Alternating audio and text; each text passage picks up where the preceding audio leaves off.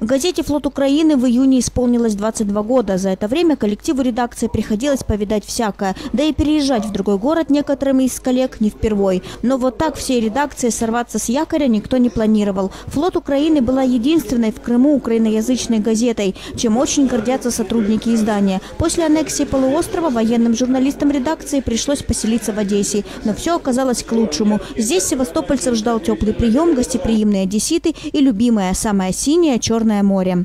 Мы для себя ну, старались создать все нормальные условия для работы. Да? И, конечно, когда кто-то приходит, там, твое гнездо, да, разворошил, типа, иди отсюда, конечно, тяжело. Но мы вышли с честью.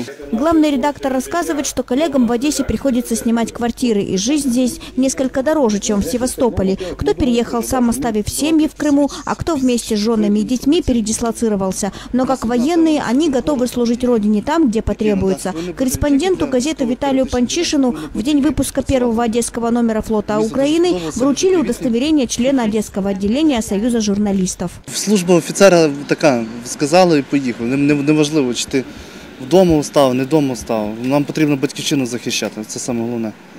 От і все. А а воно не не, не залежить від домівки, там, не залежить від сім'ї. Якщо сім'я, от сім'я от, любляча, там, де от є в сім'ї взаєморозуміння, оце повага, там, де всі, всі розуміють, де є правда, де є кривда, де є брехня. Тоді проблем не виникає. Пока с апреля редакция обживалась в Одессе, номера флота Украины выходили на сайте в электронном варианте. И вот, наконец, 4 июля газету можно будет приобрести в киосках города. Стоимость издания 3 гривны. На страницах газеты можно ознакомиться как с официальной информацией Министерства обороны Украины, общей ситуацией в стране, так и с городскими материалами. Для одесских новостей выделены две газетные полосы.